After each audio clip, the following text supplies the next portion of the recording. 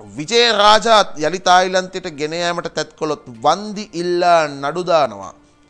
හිටපු දියවඩ නිලමේ නිරංජන් විජේරත්න තමයි මේ කාරණාව කියන්නේ සමන්ති වීරසයකර තමයි වාර්තා විදිරිපත් කරන්න විශේෂයම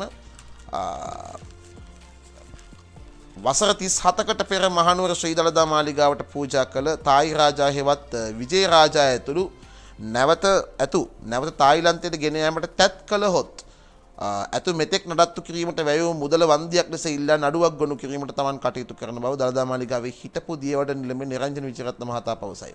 දළදා මාලිගාවට පූජා කරනවායයි යනු බුදුන් වහන්සේට පූජා කලාසේ සැලකිය හැකි බවත් එවන් ඓතිහාසික සංස්කෘතිකමයි වටිනාකමක් ඇති සිදුවීමක් සුළු කොට තැකිය නොහැකි බවත් හෙතම කීහ කියලා තමයි වාර්තා කරන්නේ.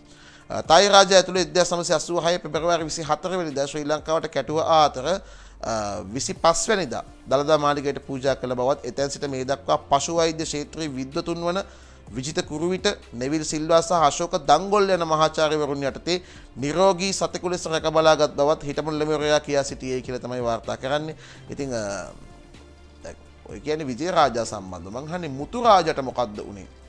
මුතු රාජ සම්බන්ධවත් මේ විදිහටම කටයුතු කරාද ඔය කන්දකම පන්සලේ හාමුදුරුවෝ එහෙම? ආ මුතුරාජ සම්බන්ධවත් මේ විදිහට පරිස්සම් සහගතව කටයුතු කරා නම් මේ වෙද්දී මුතුරාජට ඔය ඉරණම අත්වෙනවද? ඉතින් ඔබ දන්න ඇති වෙද මහත්මයා වරකපොල ප්‍රදේශයේ කෑගල්ල ප්‍රදේශයේ වෙද මහත්මයා කොහොමද කටයුතු කරේ කියන එක අපේ නැදුන්ගමුවේ රාජට එක දතක් හෝ දත් දෙකක් තමයි ඉතුරු වෙලා තිබ්බේ හක්කේ. ඉතින් ඒ දෙක පුදුමාකාරයෙන් වෙද මහත්මයා පරිස්සම් කරා. ඒ වගේම තමයි ඇතා සම්බන්ධව කිව්වොත් නදුන්ගමුවේ රාජට මම කියන්නේ ඒ ඇතා පරිස්සම් කරපු විදිහ.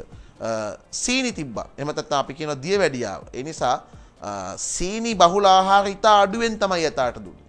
පොඩක් වීඩියෝ සමතුන YouTube එක හොයාගෙන බල අන්න ඒ විදිහට ඇත්තු සම්බන්ධව හරි පරිස්සම් සහගතව කටයුතු කරන්න මුතුරාජට ඔය වගේ ඉරණමක් අත්වෙන්නේ අද ඉදංවත් දැන්වත් අපි ආරක්ෂා කරමු. අපේ රට හම්බෙච්චේ වගේ දායාදය එතකොට අපට පුළුවන් ඉස්සරහටත් සතුන් සම්බන්ධව හොඳ පිළිවෙතක් අනුගමනය කරන්න. අපි